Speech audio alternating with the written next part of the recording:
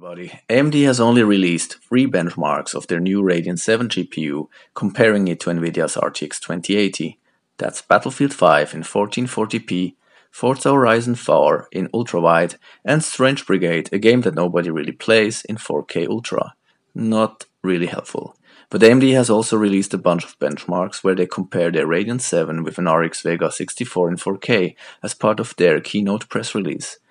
Also, AMD gave away crucial information, like on what system, with what drivers and settings they have tested those games and cards. So, what we can do now is we can take an i7 7700, put in 16 gigs of RAM, take a reference Radeon RX Vega 64, and pick some games that were most likely tested with the game's built in benchmark. And as a first step, check if we can reproduce AMD's numbers with that setup and I was in fact able to match or come very close to AMD's results in following games Strange Brigade, Middle Earth Shadow of War, Forza Horizon 4, Assassin's Creed Odyssey, and Far Cry 5 to some degree. So now we put in an RTX 2080 and check if we can reproduce AMD's Strange Brigade result in 4K Ultra, and it turns out it's pretty much the same.